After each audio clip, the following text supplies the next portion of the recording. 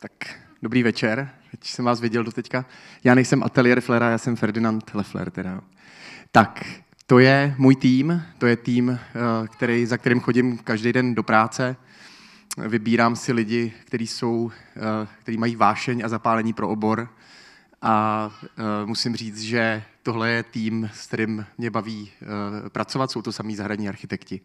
Já bych vám chtěl dneska říct něco o tom, Eh, co si myslím, že současná zahradní architektura vlastně je. Ukážu vám to na pár projektech, který jsem si pro vás připravil protože ona je to vlastně taková trošku nearchitektura. Nás uh, úplně, já, já jdu pryč z toho reflektoru, protože mi to strašně svítí do očí.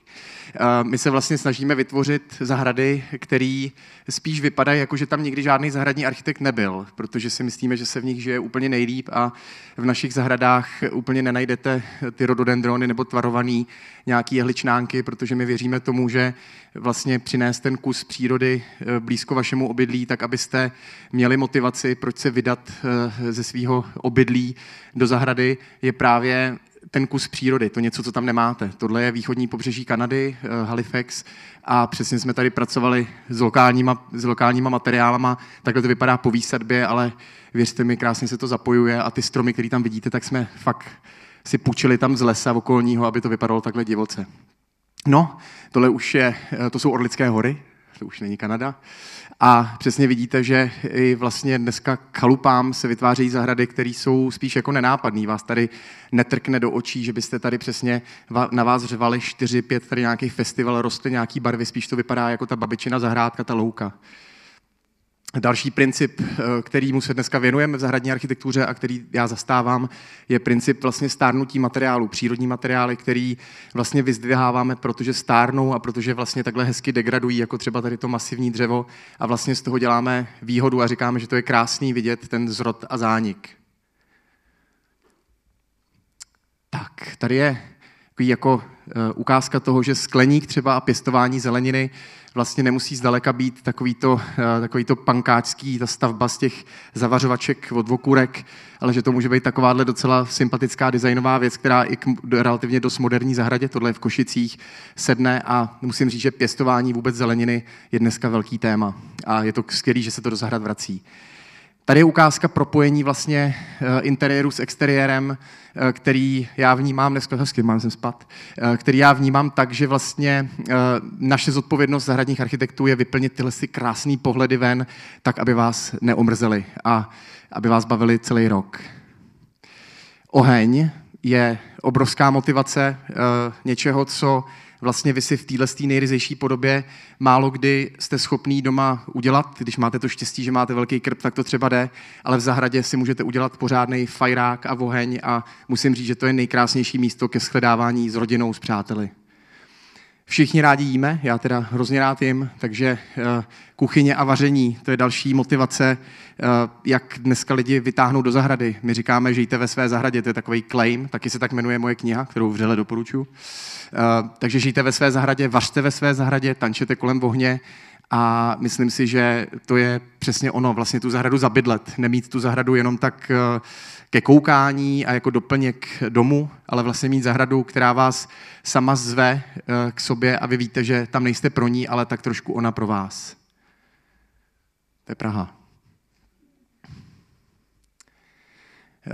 tak vidíte, biocentrál, biotop, tady se to, to je ten oslý můstek, který, co jsem sliboval. Uh, to je biotopické jezero, velký dneska uh, téma, um, kdy se v podstatě kocháme v zahradách takovou tou voňavou vodou, která je prostě ještě k tomu chutná, když do ní skočíte a otevřete pusu, tak máte větší radost, než když jste někde v nějakém chemickém bazénu je to prostě prorostlý zelení, je to velký trend, který já hrozně doporučuji, sám takový jezero eh, na svý, na svý zahradě mám. Na druhou stranu je potřeba říct, že takovýhle jezero eh, nemůže mít eh, více než 21 stupňů, takže je to pro otužilce, ale je to krásný vidět, jak se to spojí s tou krajinou, moc doporučuji.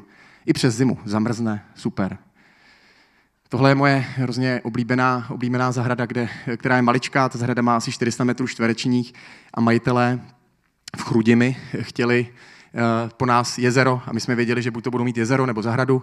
Rozhodli se pro jezero. Místo zahrady má jezero a strašně dobře se jim tam žije. Pán skáče ještě, jako hned sundá si pyžamo a hned skáče do jezera.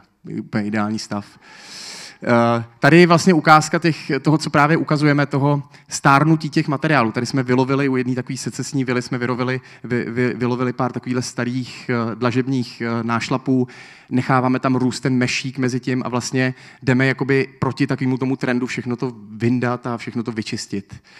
Velký, to strašně to utíká, těch 20 vteřin, jo, to byste viděli. Eh, zahrada bez trávníku, jo, podívejte, zahrada bez trávníku funguje, eh, tady ta kočka chodí po mlatové cestě, eh, není potřeba mít trávník, pokud máte malou zahradu, radši se trávníku vzdejte a můžete mít takovouhle divokou zahradu, která je dynamická, která nepotřebuje tolik vody, nepotřebuje tolik chemie, nepotřebuje tolik vaší energie. Stejně jako tahle zahrada, to je taky bez trávníku. Podívejte na to, jak je hluboká, jak působí velká. Moc se to zatím v Čechách nenosí, my se to snažíme vysvětlit, že to je skvělý protože v trendu šetření dešťovou vodou je tohle odpověď zahrady, která vypadá dobře. Kdyby tam byl trávník, tak je vošklivý a hnědej. Eh, louky, další velikánský fenomén dneška, není to tak jednoduchý, není vždycky takhle krásná ta louka, takže já vždycky říkám ano, když se to povede, když to můžete mít dál od domu nebo dál od chalupy, tak ta louka je skvělá, když ji dobře vyberete. Na druhou stranu je to eh, prvek, který, když vám do něj špatně zaprší nebo zrovna není počasí, který by mělo být, tak může vypadat jako velký plevel v průběhu celého roku. No a poslední téma jsou v podstatě tyhle ty trvalky, ty bylinný patra, který možná, kdo máte zahradu nebo navštěvujete zahrady, tak víte, že často v zahradách právě chybí. Je to eh, moment, který do zahrad strašně rádi dostáváme, protože je to přesně to patro, který je plný těch motýlů, čmeláků, toho života a v českých zahradách strašně často velmi chybí. A tohle je poslední fotka krásná, kterou mám hrozně rád, která ukazuje vlastně propojení uh, té zahrady soukromí s tou krajinou a vlastně navazuje na takovou tu zodpovědnost každého z nás, kdo zahradu máme, že vlastně tou zahradou eh, spolu vytváříme krajinu a tím, jak k tomu přistupujeme, tak eh, se zapojíme do toho velkého systému. To je úplně všechno. Taky máme Facebook a Instagram, jsem tady slyšel dneska, tak vás tam rádi přivítáme. Moc vám děkuji za pozornost. Krásný večer a děkuji za přivítání tady.